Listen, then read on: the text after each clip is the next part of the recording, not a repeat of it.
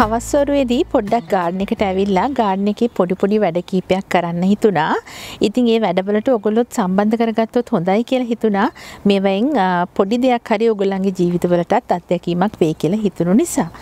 ඉතින් ඔගලන්ට පේනවා මගේ අතේ තියෙන මේ බීජ පැකට් එක. මේක ඇත්තටම හරිම විශේෂ දෙයක්. විශේෂයෙන්ම මේ මම ලංකාවෙන් පිට ජීවත්වන කෙනෙක් විදිහට.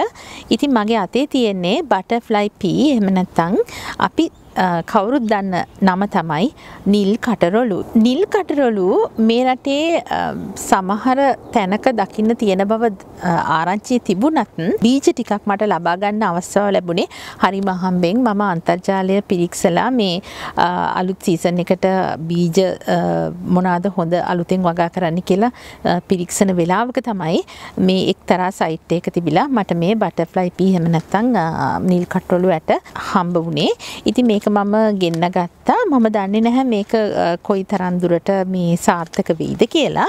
හැබැයි දැන් අපිට ඉදිරියේදි ලැබෙන්නේ ගොඩක් උෂ්ණ දේශකුණික තත්ත්වයක්. ඉතිං තිබ්බ සීත කාලය පහව යන නිසා ඉතින් මං හිතනවා අපිට මේ හොඳින් නිල් කට්ටොලු පැලයක් වවාගන්න අවස්ථාවක් ලැබෙයි කියලා. ඉතිං දැන් මම තාම සීට් පැකට් එකවත් ඕපන් කළ බැලුවේ නැහැ. මං හිතුවා ඔගොල්ලොත් එක්කම එක කරන්න ඕනි කියලා. මේ විදිහට හොඳින් සීල් කරපු පැකට් එක තමයි මේ බීජ තියෙන්නේ. මේ බලන්නකො බීජ සෑහෙන ප්‍රමාණයක් තියෙනවා නේද? ඇත්තට මට නම් මෙහෙම ස්වරූපයක්වත් මතකෙ තිබුණෙත් නැහැ. කාලෙකට කලින් තමයි මේ මම නිල් කට්රොලු මල් දැක්කේ. ඉතින් හරි ආසයි මට මේ පැලයක් හදාගන්න පුළුවන් නම්.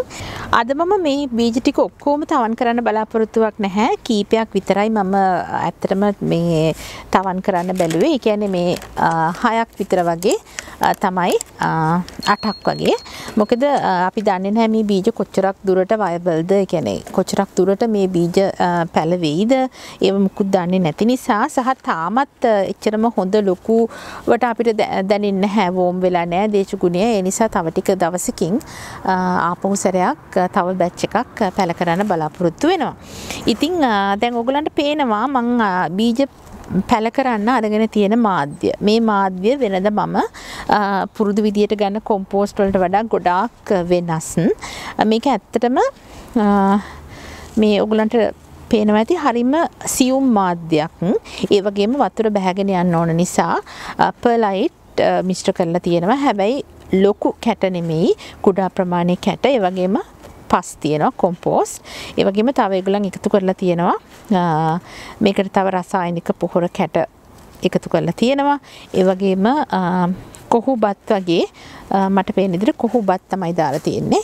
එකතු කරලා හදපු වෙළඳපොලෙන් මිලදී ගත්ත සීඩ් මික්ස් එකක් තමයි මම මේ අද පාවිච්චි කරන්නේ. මොකද මට ඇත්තටම හරිම වටිනවා මේ නිල් කට්ටෝලු පැල ටික හොඳින් පැල කර ගැනීම. නිසා මං ඒ වෙනුවෙන්ම මේ සීඩ් මික්ස් පැකට් එකක් මිලදී ගත්තා. අරගෙන මම හිතුවා මේ ඒ මාධ්‍යයේ මේ බීජ පැල කරන්න ඕනි කියලා. දැන් වෙනද ගන්න කොම්පෝස්ට් එක මම ඕගොල්ලන්ට ළඟින් පෙන්නුවොත් මේ හොඳට ජලය බැහැගෙන යන ඒ වගේම මේ වගේ ටිකක් ලොකු කැබලි චංක් විදිහටත් අපිට දකින්න පුළුවන්. ඒ කියන්නේ මේ මාධ්‍ය හොඳට වතුර බැහැගෙන යන අපිට මේ වෙනත් ගස්වලට පාවිච්චි කරන කියන්නේ වැඩුණු පැල හදන තමයි අපි මේ වගේ මාධ්‍යයක් ගන්නෙ. හැබැයි මේ වගේ සියුම් මාධ්‍යයක් අපි යොදා ගන්නවා අපේ බීජ බීජ පැල කරගන්න ගොඩක්ම හොඳට තෙතමනයත් මේකේ ආරක්ෂා වෙනවා. ඒ වගේම තමයි ඊට අවශ්‍ය පෝෂණයක් ලැබෙනවා. අර හරිම පොඩි සොෆ්ට් මුල් තමයි හැදෙන්නේ. මේ වගේ මුල් වලට පහසුවෙන් අලුතෙන් මුල් අදින්න ඒ බීජ වලට ප්‍රයෝජනවත් වෙනවා මේ මාධ්‍ය. ඉතින් මුලින්ම මම මේක මේක පොඩි එම තෙත ගතියක් වගේ ලාවට තියෙන මොයිච්ච ගතියක් හැබැයි මුලින් මම මේකට වතුර ටිකක් එකතු කරලා තව මේක හොඳට මොයිච්ච කරගන්න.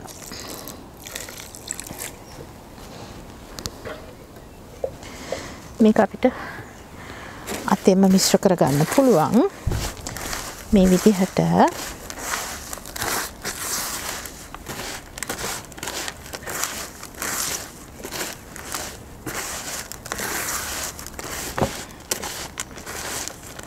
සාමාන්‍යයෙන් අපි මේ වගේ මාධ්‍යයක් තෝරගෙන මේ වගේ සියුම් මාධ්‍යයක් තෝරගත්තට පස්සේ අපි බීජ තවන් කරද්දී අපි මෙහෙම වතුර දාලා මෙහෙම ගුලි කරාම මේ එක මිටියකට මේ ගුලියක් වගේ තියෙනවා නම් මේකේ හොඳට තෙතමනය තියෙනවා මෙහෙම ඒ ඒ ඒ තත්ත්වය තියෙන්න ඕනේ අපිට මේ බීජ පැල කරන්න ගන්න මාධ්‍ය. ඉතින් දැන් මේක හොඳට ඔයගලන්ට තේරෙනවා හොඳට වතුර එකතු වෙලා තියෙන්නේ.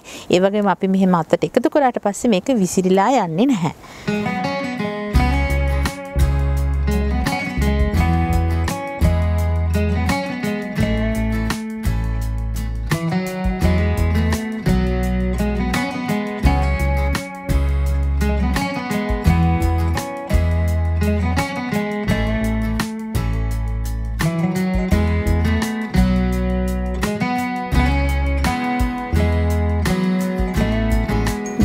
මගේ ට්‍රේක සූදානම් මම මේ ට්‍රේකට එක බීජය බැගින් හිතෝනවා හැබැයි මේ පැකට් එකේම පිටිපස්ස ඉන්ස්ට්‍රක්ෂන් වල තියෙනවා ගොඩාක් ගැඹුරට මේ බීජ පැල කරන්න එපා කියලා. ඒ නිසා මම මේ වගේ අඟලක් විතර වගේ ප්‍රමාණයට මේ විදිහට බීජයක් දාලා මෙහෙම පස් ටිකකින් වහනවා.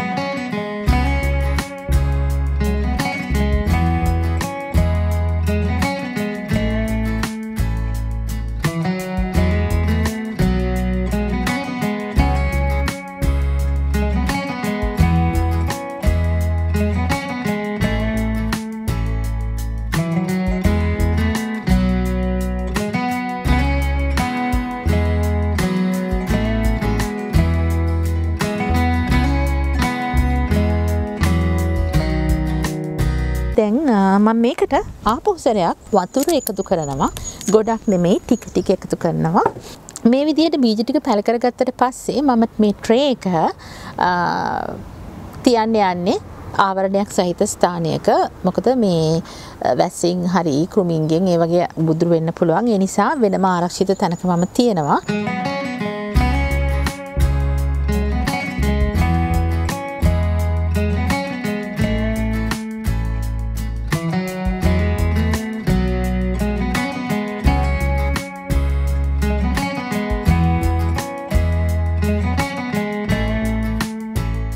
දැන් මං කිව්වනේ වැඩ කීපයක් කරන්නත් එක්කයි මං ගාඩන් එකට ආවේ කියලා. දැන් මේ බලන්නකො මේ තියෙන්නේ ඔයගලන් කවුරුත් හොඳින් දන්න පැලයක්. මොකද්ද මේ පැලේ? මේක කැනා ලිලි පැලයක්. එහෙම නැත්නම් අපි කියනවා කැනස් පැලයක් කියලානේ. එතකොට මේක ට්‍රොපිකානා කියන විශේෂයට අයිති හැබැයි මේක ට්‍රොපිකාන එකේ රතු පාටයි ගොඩක්ම රතු පාටට මෙහුරු වෙනවා මෙන්න මේ ඔගලන්ට බලාගන්න පුළුවන් මේ තියෙන්නේ කොලේ ගොඩක් රතු පාටට තමයි ගහේ අපිට දකින්න හම්බ වෙන්නේ. තව තියෙනවා මගේ ළඟ කැනාලිලි ට්‍රොපිකානා එකේ ගෝල්ඩ් කල එකක්. එතකොට දැන් මං සූදානම් වෙන්නේ මේක මේ මං ඇත්තටම දැන් මාසෙකට විතර කලින් ගිහිල්ලා ගෙදරකින් තමයි මම මේක මේ මිලදී ගත්තේ. ඉතින් මේ පැලේ දැන් හොඳ වෙලාව තමයි තව පොට්ටයකට මාරු කරන්න වෙන පොට්ට එක මේ ඇතරම රීපොට් කරන්න. ඉතිං දැන් මේක මේ අලුතෙන් චූටි පැලෙකුත් ඇවිල්ල තියෙනවා උගුල දන්නවා කැනලිලී කියල කියන්නේ රයිසෝම් එකක් ඒ කියන්නේ මේකෙම තව දිගුවක් විදියට ගිහිල්ලා අලයක් වගේ ගිහිල්ලා එතනින් පැල මතුවෙනවා මොටෙයි අපි කියන අපි පුංචි මොටෙයි කියලා. මේ විදිහට මොටෙයි මතුවෙනවා මේ වගේ තමයි පැලේ හැදෙන්නේ. ඉතින් එක පැලයක් තිබ්බහම මේ ඒ පැලේ වටේටම මේ රයිසෝම් ගිහිල්ලා හරි ලස්සනට හොඳ පැල පොකුරක් විදියට අපිට මේ හොඳ හොඳට වවා ගන්න පුළුවන් කැනාලිලි ඉතින් ඒ හින්දා ඒ වගේම තමයි මේ කැනාලිලි වල ලස්සන මලක් පිපෙනවා. දැන් මේ වගේ ගස්වල නම් කොලෙත් හරි ලස්සනයි ගාඩ්න එකකට වගේම ඔගුලන්ගේ ඕනම තැනකට පොදු තැනකට වුණත් හොඳටම ගැලපෙන පැලයක් තමයි කැනාලිලී කියලා කියන්නේ. ඒ වගේම කැනාලිලී ගැන කියනවා නම් මේගලන් හරිම කැමති මොයිස්්ච කියන්නේ හොඳට තෙත් සහිත පස්සක රැඳෙන්න. ඉතින් විශේෂයෙන්ම පොන්්ඩ එකක් එහෙම නැත්තල් ලිඳක් ළඟ එහෙම නැත්තං ඇලක් ළඟ ඒ වගේ වතුර තියෙන තැන්වල හොඳින් හැදෙන්න පුළුවන් ශාකයක් තමයි කැනල්ලිලි කියලා කියන්නේ. ඉන්ඩෝ පොන්්ඩ එකක වුණත් හොඳට එළිය වැටෙනවා නම් ඔයගලන්ට කැනල්ලි වගා කරගන්න පුළුවන්. ඉතින් මේ හරිම ලස්සන ලෝකයේ පුරාම ජනප්‍රිය ඒ ජනප්‍රියත්වය කවදාවත් නැති වෙන්නේ නැති අලුත් වැරයිටිස් එක එක පාට විවිධ විදිහේ හැඩතලත් එක්ක දිනපතාම ලෝකෙට එකතු වෙන එකක් තමයි කැනල් ලිලි කියලා කියන්නේ. ඉතින් මමත් හරි මාසයි. මගෙත් වර්ග කීපයක්ම තියෙනවා. ඉතින් මේ අලුත්ම මේ මගේ කැනල් ලිලි එකතුවට එකතු වෙච්ච සමාජිකයා තමයි මෙයා. ඉතින් මම හිතුවා මෙයා රීපොට් කරන්න ඕනි කියලා. ඉතින් සාමාන්‍යයෙන් අපි රීපොට් කරනකොට මම මීට කලිනුත් මේක සඳහන් කරලා තියෙනවා.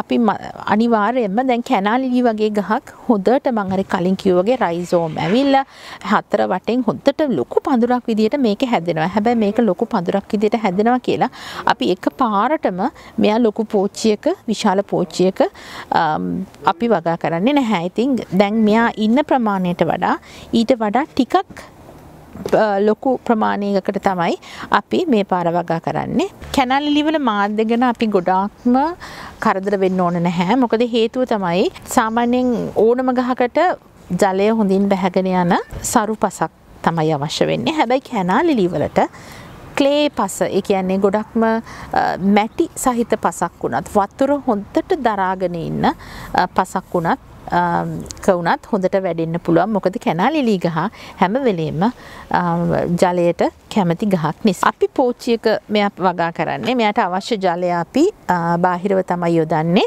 ඒ නිසා මම මේ විදිහේ සුපුරුදු කොම්පෝස්ට් මිශ්‍රණය අරගෙන තියෙනවා. හරි සරල මාධ්‍යයක් කොම්පෝස්ට් වගේම මේ ලී කැබලි එහෙම තියෙන මාධ්‍යයක් ටිකක් දාලා අපි උස බලා ගනිමු. දැන් මේ විදිහට සාමාන්‍යයෙන් පැලයක අපි පැල කරාට පස්සේ අඟල් කාලක් විතර අපි අඟල් කාලක් විතර ඉතුරු කරලා තමයි පැලේ පැල කරන්න ඕනේ. මොකද අපි වතුර යොදනවා පොහොර යොදනවා සාතිරයක තව පස් යොදනවා. ඒ නිසා ඒ ප්‍රමාණය ඉතුරු කරලා තමයි පැලයක් පැල කරන්න ඕනේ. හැම වෙලේම පෝච්චියකට පැල කරදී දැන් මං හිතනවා මේ ප්‍රමාණය ඇති කියලා අපි යට දාගත්ත.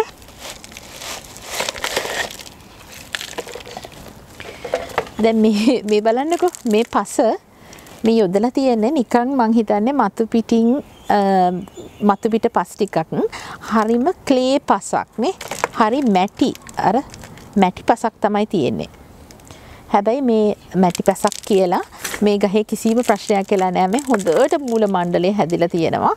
මේ මේ මේ වගේ මේ රයිසෝම් ඇවිල්ලා මේ අලුත් පැල හැදිලා තියෙනවා. මේ හොඳට මේ බලන්නකෝ. මේ තවත් චූටි පැල එනවා මේ. ඒ කියන්නේ මේ ගහ හොඳට සරුවට හැදිලා තියෙනවා මේ මැටි පස්සේ උනත්. ඉතින් ඒ නිසා මේ කැනලිලි වගා කරද්දී ඔයාගේ ගෙදර ගාඩන් එකේ මැටි පසක් තියෙන්නේ කිසිම දෙයක් හරියන්නේ එහෙම කියලා දුක් වෙන්න එපා. කැනලිලි ගහක් හදලා බලන්න. ඔයාට අවුරුද්ද පුරාම මේ ලස්සන ගහක් වගේම මල් බලා ගන්න පුළුවන්.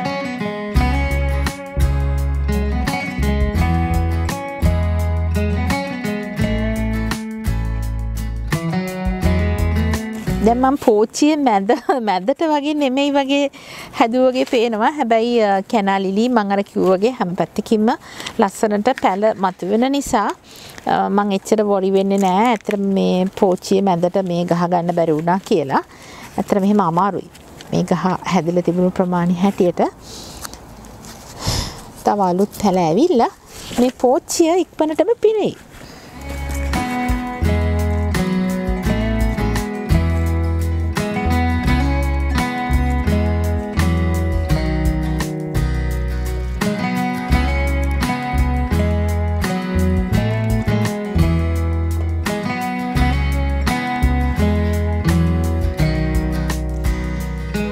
ඉතින් කැනලිලි පැලේටත් අපි වතුර එකතු කරා නිතරම පරීක්ෂා කළ බලන්න ඕනේ කැනලිලි වතුර වලට ගොඩක් ආස නිසා වතුර මට්ටම් හොඳින් තියෙනවද කියලා. එන්නකො මං අනිත් ඔයාට පෙන්වන්න මගේ අනිත් කැනලිලි වර්ග ටික. මේ තියෙන්නේ කැනලිලි ට්‍රොපිකානා ගෝල් කැනාස් කියන වරයිටි එක. හරිම ලස්සනට ලොකුවට ලොකු පඳුරක් විදිහට තමයි මේ මම මේ ගහ මිලදී ගන්නකොට තිබුණේ. හැබැයි අපිට වින්ටර් කාලෙදී මේ ගස් සම්පූර්ණයෙන්ම නැති වෙලා විනාශ වෙලා ගිහිල්ලා ආපහු අලුත් පැල තමයි මේ ලැබෙන්නේ. ඉතින් දැන් මේක ඔයගලන්ට පේනවා ලොකු පොට් එක තමයි හදලා තියෙන්නේ. සෙන්ටිමීටර 30ත් පණහක් වගේ ලොකු පොට් එකකට උනත් මේ වගේ ලොකු පැලයක් හදන්න පුළුවන්. ඉතිං මේ අනිවාර්යෙන්ම පැලේ ගොඩක් ලොකුවට හැදෙන නිසා අපිට ලොකු පොට් එකක් අවශ්‍ය වෙනවා. ඉතින් මේකෙත් මේ ඔයගලන්ට පේනවා නෙමෙයි හැමතැනම දැන් වටේට චූටි පැල ගොඩාක් එනවා. මේ ඒක එහෙම කියනකොට තව විශේෂයෙන්ම පෙන්වන්න ඕන දෙයක් තියෙනවා. වෙරිගේටඩ් කැනාලිලි එක. මේක මේ විදිහේ ලොකු පැලයක් තිබුණා. ඇත්තරම මේක ගොඩක්ම ලොකු සීත කාලෙක සීත කාලේ මේ දරුණුම දවස්වල තමයි මේ පැලේ මට මේ මිලදී ගන්න සිද්ධ වුණේ ඊට පස්සේ සම්පූර්ණයෙන්ම මේ ගහ මැරිලා ගිහිල්ලා මේ දැන් චූටි පැලයක් ඇවිල්ලා තියෙනවා. ඉතින් මං පුදුම ආසාවෙන් ඒ වගේම තමයි හරිම මේ ගොඩාක් අවධානය යොමු කරන ගහක් තමයි මේක. ඉතින් විශේෂයෙන්ම ගොළු බෙල්ලෝ හරි කැමති මේ කැනලිලි කන්න. ඉතින් ඒගොල්ලන් මේ ගස්වල කොළ කාලා මේ ගහ සම්පූර්ණයෙන්ම විනාශ කරලා දානවා. ඉතින් මේ දවස්වල කාලය ගත වෙනවා දැනෙන්නේ නැහැ. ගාඩන් එකට ආවහම ගොඩක් වැඩ තියෙනවා කරන්න. ඒ හැම එකක්ම වගේ ඔගොල්ලොත් එක්ක බෙදා හදා ගන්නත් සූදානමින් ඉන්නවා. සමහරලාට මගේ අත්දැකීම ඔගොල්ලන්ටත් අලුත් දැනුමක් එකතු කරાવી කියලා හිතනවා. ඔගොල්ලන්ගේ දැනුම මත් මත් එක්ක හුමාරු කරගන්න අයිත් දවසක හම්බෙමු අලුත් වීඩියෝකින් එතෙක් පරිස්සමින් ඉන්න.